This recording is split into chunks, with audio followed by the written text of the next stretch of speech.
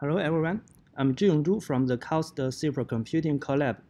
Now I will show you how to run your jobs on Shaheen. Some the steps you have to follow and several things you have to be aware of. I will use VASP as an example to demonstrate, demonstrate the steps. VASP is a software that is widely used in the area of uh, quantum chemistry, computational physics, and material science. At the end, I will show you some tips. Normally speaking, these are the steps you have to follow.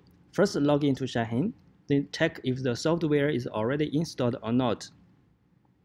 There are several different directories on Shaheen. You, you need to know where to run your jobs and where to back up your data. Then prepare the VASP input files and prepare the Slurm uh, job script. Then submit the job.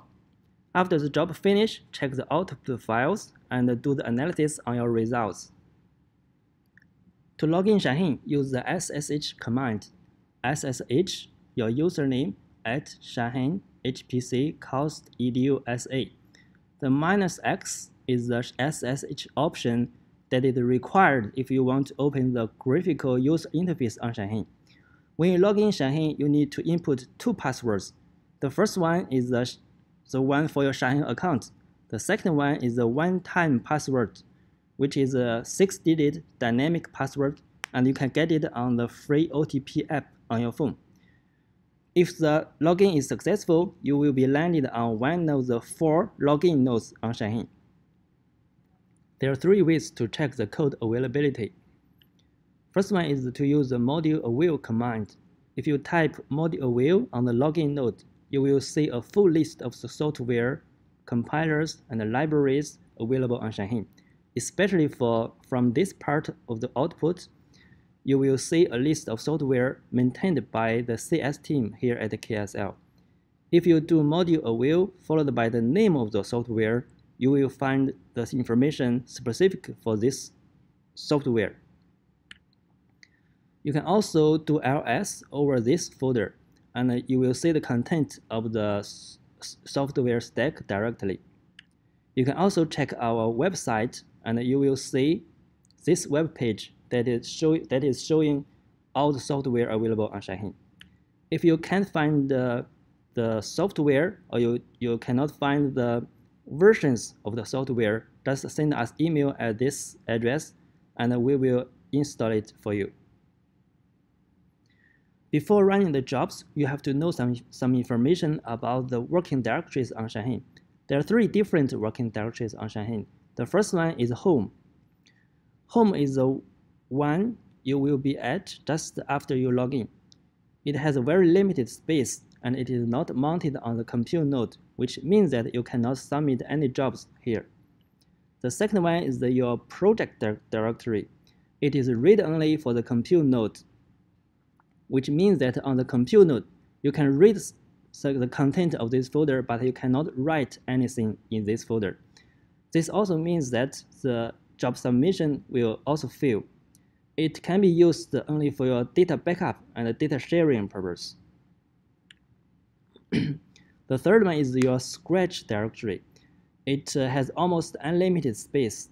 You, the most important thing you, you have to know about this uh, Scratch directory is that all files older than 60 days will be deleted automatically without any warning. So Scratch directory is the only place you can run your jobs, but you, you please remember to backup important data to your project directory. Now let's start to run the example. As I just mentioned, the only place you can run your jobs is the Scratch directory. So cd to Scratch my username then create a new folder called VASP and enter this folder. Then copy the VASP example from here to, to the current directory. There are two types of uh, input files in this example. The first four files are the input files for the VASP itself. In the real calculation, you can prepare your input files in, on your workstation, then upload the input file to Shaheen by using this command. Or you can prepare the input files by just modifying the existing files. The second type of uh, input file is the Slurm job script. Let's see the content of the Slurm job script. There are three parts in this file. The first part, the first part is the Slurm directives, which uh, is used, which are used to uh, request resources from the from the system. For example, which partition you are going to use. You are going to use work queue or the 72 hours queue or the debug queue. And how many nodes are you going to use and uh, how much time are you going to use to, to run your job.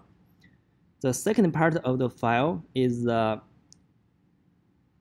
used to set up the environments, either by using the export command or by using module load command. The third part of the job script is to run the calculation by using srun followed by the options to the srun command. After the input files are ready, you can use this command sbatch to submit the jobs. After the job submission, you will get ID for this job. If you do sq minus minus me, you will you will see the status of your, your own jobs. You see this job is running. If you want to cancel the job, just find the ID of this job and put it behind the scancel command. Then the job will be canceled. If you do sq minus, minus me, you will see that this job is gone. After the job finish, you can check if the if there's anything wrong with this job. You can check the standard error file and the standard output file to see if, if there's uh, some errors or not.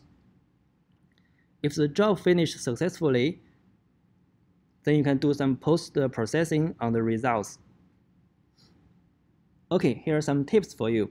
The first one is do not run anything directly on the login nodes because as uh, you know, there are only four CDL login nodes which are shared by hundreds of users. So if you run something on the CDL nodes, other users will be affected. The second one it won't work if you submit jobs from your home and your project directories because home is not seen on the compute nodes and the project is read-only on the compute nodes. And please do remember to back up important data from your Scratch to your project or, uh, home or anywhere else because all the files in Scratch are not backed up and are deleted automatically after 60 days. And there's also a project folder inside uh, Scratch, so please do not confuse Scratch project and your project, because the first one is still considered as a, a Scratch directory, and all files will be deleted automatically after 60 days. About the file transfer, if you're working in the Mac or Linux environment, you can use scp command to do the file transfer. And if you are working in the Windows environment, you can use some third-party uh, softwares to do the file transfer. Okay, thank you very much. If you have any questions or you need any help, just send an email at this address. Thank you very much.